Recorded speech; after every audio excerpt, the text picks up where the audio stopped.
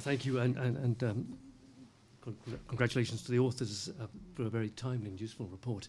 I, I, would say that Cyrus has actually mentioned several of my points, so thanks to Cyrus for, uh, for which does free me up to talk a little bit about my area.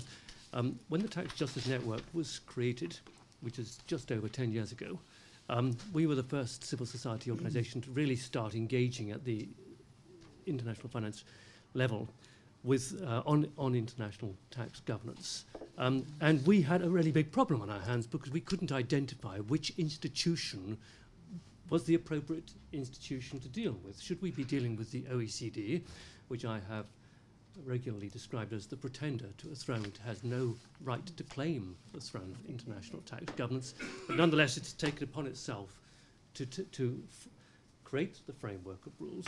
Should we be dealing with what was then the, the ad hoc group committee of experts on international tax matters? Um, or should we be dealing with the IMF or others? Um, and into this melange of institutions we plunged. We were the first organisation, a genuine civil society organisation, to attend the UN Tax Committee in its several decades of existence. Um, we did find another NGO called the International Chamber of Commerce sitting there, headed, would you believe, by the tax director of UBS Bank. Um, in we plunged with no clear idea of why it was that developing countries felt so excluded from this UN process. And the exclusion happened at many different levels. The, the agenda setting was quite exclusive.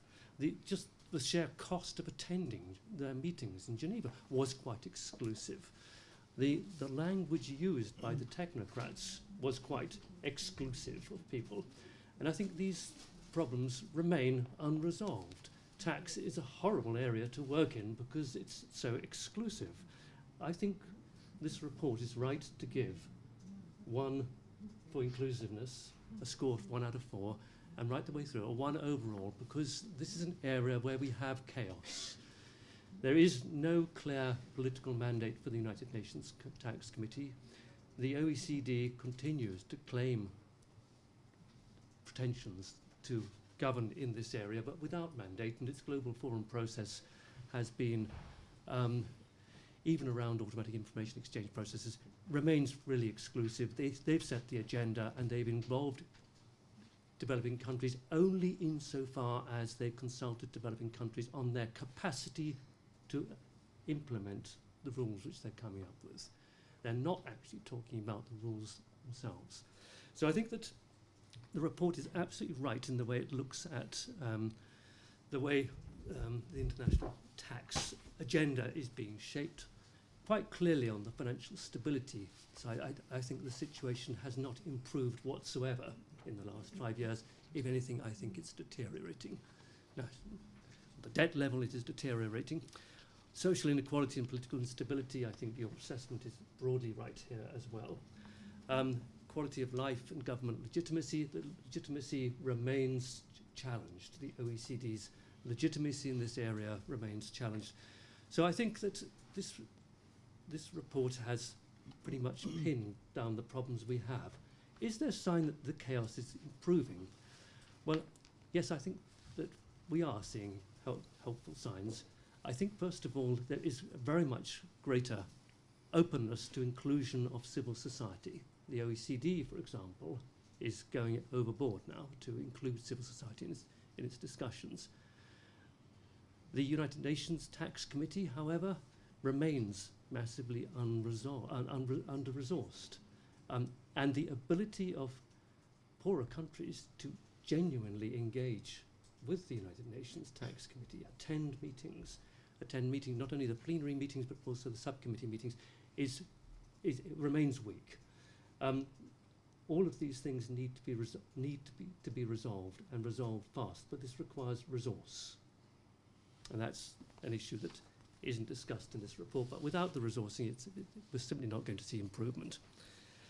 Um, I suppose, finally, on, on, the how do we measure the impacts? The, the big question here is, are we, can, can we see any improvement in the way that we are moving towards being able to tax capital and tax multinational companies more effectively, either here in Europe or in developing countries? I think the answer to this stage is no, we're not seeing much progress. Will BEPS address this adequately from, for developing countries? I very much doubt that it, it will within a reasonable time frame. But what I have biggest, the biggest problem of all around the BEPS process and around where G20 is taking us is that they are still not prepared to open the agenda up to consider whether we need to move beyond the current system of taxing multinational corporations and open up to unitary taxation. When we discussed that with them, it was closed down immediately. So the control over the agenda remains in the hands of uh, uh, the wrong countries. How are I doing for time? One, one minute max. Um, and that, that, I suppose, raises the big question of how can we engage developing countries at the level of setting the agenda, either for the agenda for the OECD or the agenda for the UN Tax Committee or for other organizations.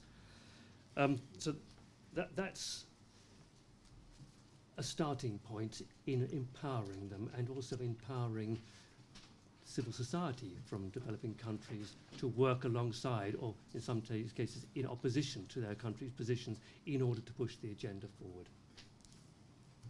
John, thank, thank you so much for that. Again, we'll have an opportunity to come back to some of these issues. Dirk.